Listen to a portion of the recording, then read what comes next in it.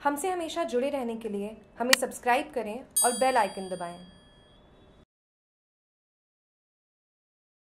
Umed club में निखरे सावन के रंग, श्रीमती सुरभि चौधरी ने जीता मिसेस सावन का खिताब, सलोनी जैन बनी मिस सावन। उम्मेद क्लब की महिला सदस्य के लिए शनिवार को सावन महोत्सव का आयोजन किया गया।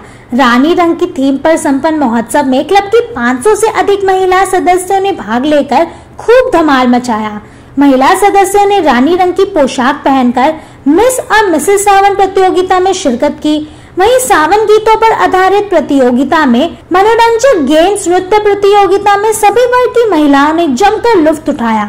कार्यक्रम संयोजक रवि जैन ने बताया कि क्लब के सभी सदस्यों के लिए मनोरंजक कार्यक्रमों और हर बार कुछ नया करने के वादे को लेकर क्लब की कार्यकारिणी ने सावन महोत्सव के तहत विभिन्न खेल प्रतियोगिताओं का आयोजन किया। जयपुर एंकर रुचिता ने हाउसी व अनेक गेम्स का संयोजन किया। सावन महोत्सव के संयोजक खुशी अरोड़ा ने बताया कि मिसेस सावन का खिताब श्रीमती सूरभि चौधरी ने जीता। प्रथम रनर अप श्रीमती शर्मिला मनिहार एवं द्वितीय रनर अप श्रीमती करुणा। वहीं मिस सावन का खिताब मिस सलोनी जैन, प्रथम रनर अप मिस चेल्सी एवं द्वितीय रनर अप मिस पूजा रही। क्लब के सचिव विनय कुमार ने बताया कि सावन महोत्सव के निर्णायक की भूमिका श्रीमती संगीता, श्रीमती ज्योति माथुर एवं श्रीमती रीना ने निभाया।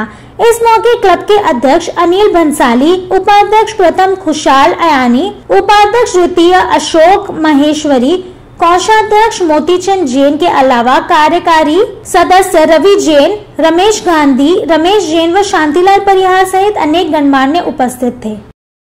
जोधपुर से जागरूक टीवी की रिपोर्ट।